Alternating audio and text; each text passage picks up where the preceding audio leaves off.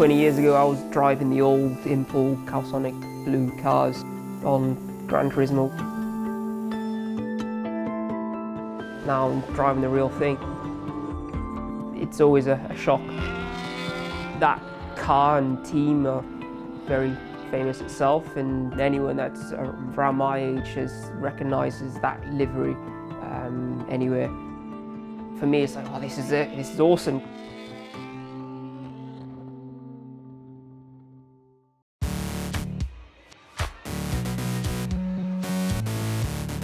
Compared to Wales, where I'm from, it's uh, completely different.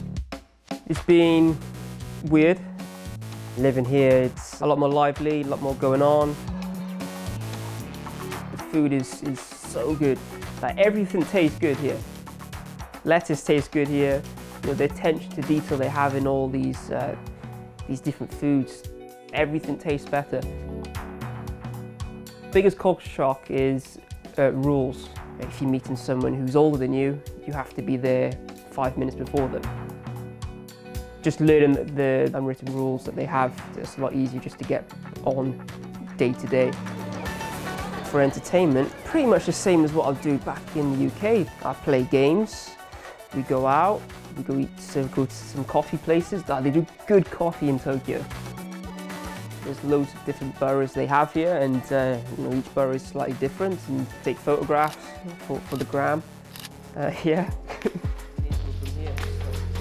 This year, living with uh, Cassidy, we both race for different manufacturers and uh, race for Lexus, I race for Nissan. But it, it, it kind of works, you know, because you know, we're competing against each other. We, I don't want to give him my secrets of what tyre pressures we're running and whatnot, ride heights and whatever, and he doesn't do the same thing to me. So it's in our best interest to, to not share everything under the sun setup-wise on our car. And uh, we both are similar age and um, we both two gaijins in Japan and uh, it's a good situation to have.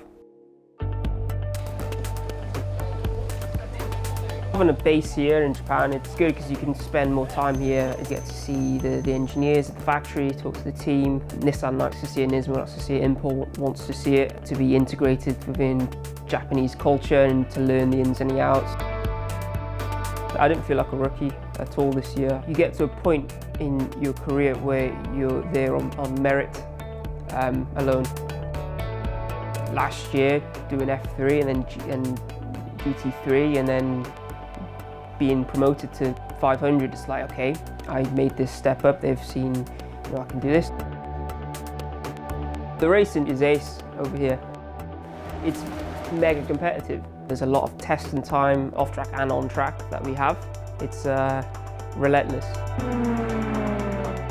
To be to be racing, you know, with Impul and Calsonic and you know, famous team owner, fastest man in Japan, Hoshino-san.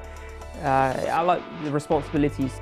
I want to win, and they want to win, and uh, Hoshino-san is fiercely competitive still. Like, like you wouldn't believe this guy. You know, his passion is, is, is awesome, and he, he'll, he'll let you know about it as well if you're not pulling the weight.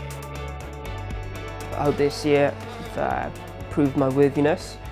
Uh, yeah, I would love to do it again next year.